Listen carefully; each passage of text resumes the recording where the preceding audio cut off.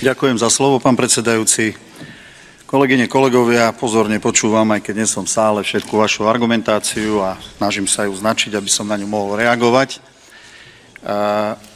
To, čo tu predniesol pán spravodajca v súvislosti s konkrétnym čerpaním na konkrétne občianske združenie týkajúce sa matky Michala Šimečku, je vzorový príklad toho, ako sa správajú vlastne neziskovky, nie všetky, a občianske združenia pri čerpaní dotácií. Ja to trošku vysvetlím jednoduchším jazykom, ale skôr než sa k tomu dostanem, by som chcel, a divím sa, prečo pani poslankyňa Mesterová odišla, lebo ona používa nejakú už záverečnú správu z toho auditu a, a, ho, a tú záverečnú Hovorí nám, že, že vytrhávame z kontextu naše tvrdenia, pritom si myslím osobne, že vytrháva z kontextu a z tej správy nejaké tvrdenia práve ona. Čo hovorí v zásade zhrnutie e, ten audit? Vnútorný audit na ministerstve spravodlivosti bol zameraný na vnútornú kontrolu systému pridelovania dotácií v oblasti ľudských práv. Dôvodom bolo predchádzajúce zistenie z netransparentnosti pri tvorbe komisii a pridelovaní žiadosti na podklade tzv. náhodného výberu. Najdôležitejším zistením bolo to, že celý proces bol v rukách dvoch osôb na ministerstve spravodlivosti, u ktorých sa kumulovali rôzne funkcie.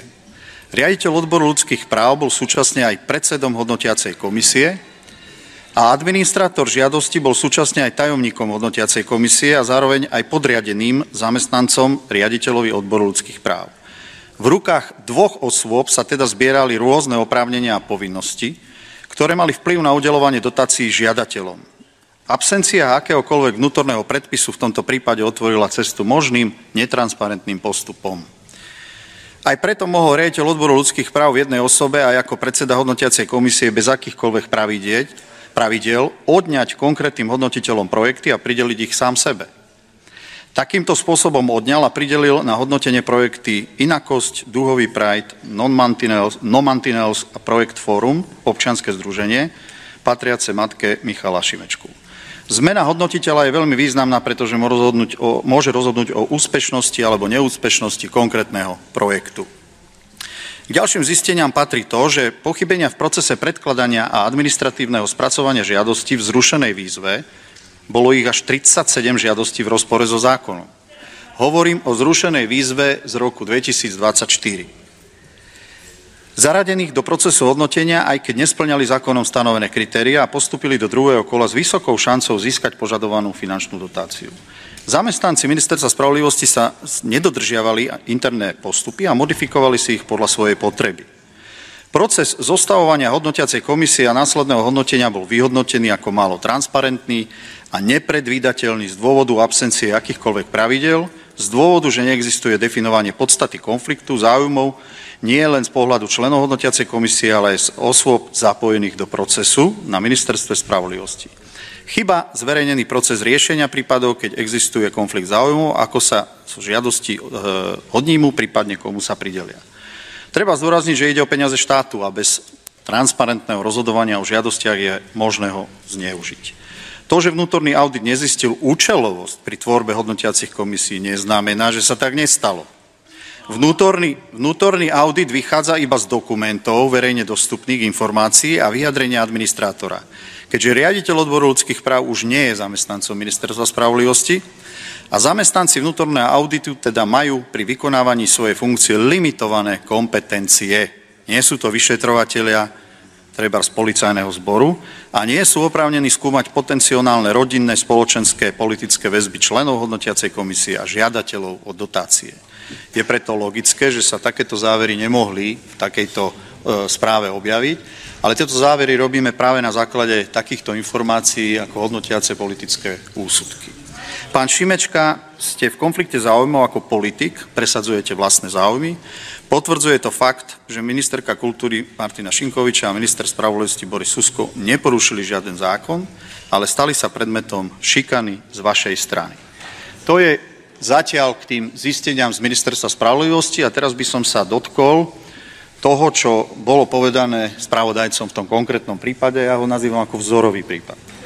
Budem to popisovať takým jednoduchším spôsobom, aby sme to pochopili aj tí, ktorí to nechceme pochopiť, pretože vaše vystúpenia vo faktických poznámkach boli len o zahmlievaní tohto problému.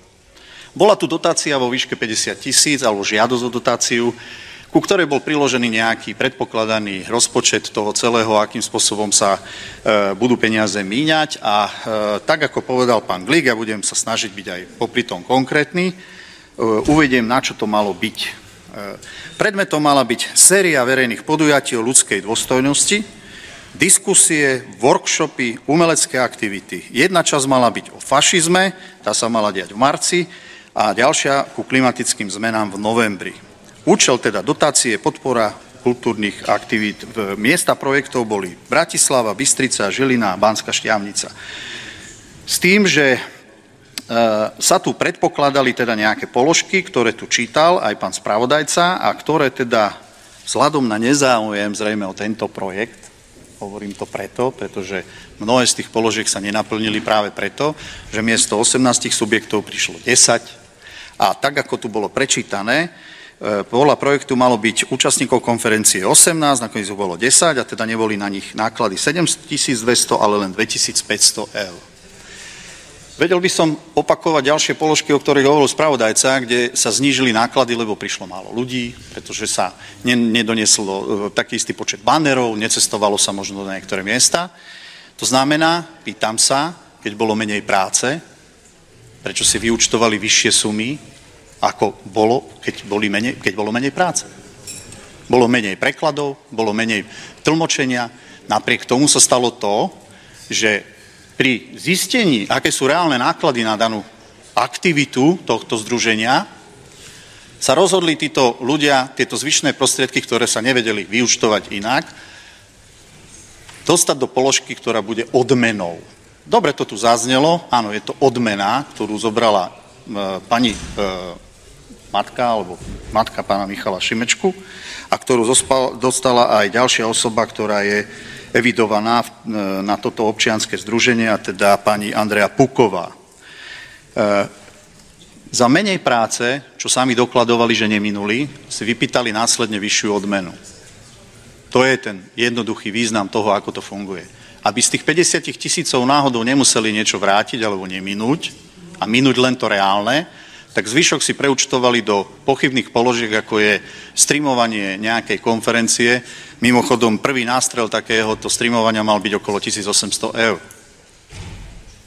Neskôr to dopadlo, aby som bol presný, na 5000 eur. Toto je tá účelovosť vynania finančných prostriedkov štátnych. S, tý, s týmito cenami vy by ste súhlasili, pán poslanec? To je to, čo ste povedali, že nemôže mať hodnotiaci úsudok na takéto niečo? Ale ja, ja to hovorím, že toto všetko bude ešte predmetom ďalšieho, presne ak ste povedali, e, ďalšej kontrolnej činnosti a možno aj finančného vyšetrovania na policii. Pretože míňať takýmto spôsobom peniaze, ktoré, ktoré nemuseli byť už nutne minuté. A ja, ja netvrdím, že si nemohli dať aj nejakú odmenu. Ale tá odmena je presne ten rozdiel, čo ste tu na pán Duveci, opäť tu nie je, zamlžili, keď ste prišli s predstavením čerpania finančných prostriedkov eh, na kolegov eh, spôsobom, kde ste nepovedali, že kto je vlastne žiadateľ a na aký účel. Ja tvrdím, že tu je účel odmena štatutárom týchto občianských združení. A zrejme, keď sa povede dôslednejšie projekt po projekte, tak sa zistí, ešte, ešte to doplním. Myslím, že som zachytil teraz, že pani eh, Šimečková, mamka pána podpredsedu, si teraz opäť organizuje tú stredoeurópsku konferenciu a že zbiera na to peniaze, lebo už jej štát teda nechce dať a že ohodnotila tú svoju potrebu na tú konferenciu, tuším, cez niečo cez 7 tisíc eur. Tak zrazu to ide urobiť aj za iné peniaze, keď to bolo za štátne, tak sa to robilo za 50 tisíc eur a polovica z tej odmeny sa rozdelila medzi pani Šimečkovú a tú druhú pani, ktorá v tom občianskom združení je. Toto je princíp čerpania a mám vnútorné presvedčenie, že budeme toto počuť aj pri ďalších občianských združeniach. Dúfam, že to nezvoní mne.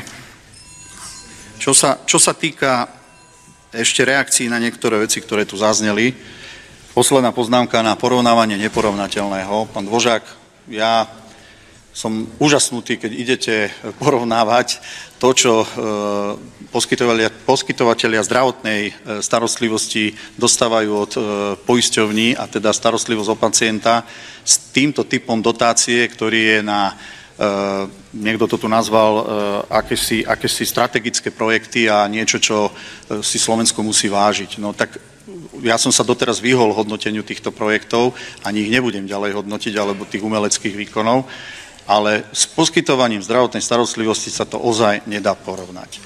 To je presne to, čo po vás žiadali pán poslanec Dubeci, ospravedlnenie viacerí poslanci a ste to neurobil, neospravedlnili ste sa, pretože ste podsunul verejnosti pri manipulácii verejnej mienky, že tieto peniaze idú pre nich. Pritom nešli pre nich. Ale ja som presne povedal, pre koho tie peniaze išli pre príbuzných, priamých príbuzných, ako je matka pána podpredsedu Michala Šimečku a jeho priateľka. Ja to hovorím takto od začiatku, nehovorím to nejako inak. Ja hovorím o politickej zodpovednosti pána podpredsedu. Za všetko, čo tu dnes zatiaľ zaznelo a budeme aj ďalej následne reagovať. Ďakujem.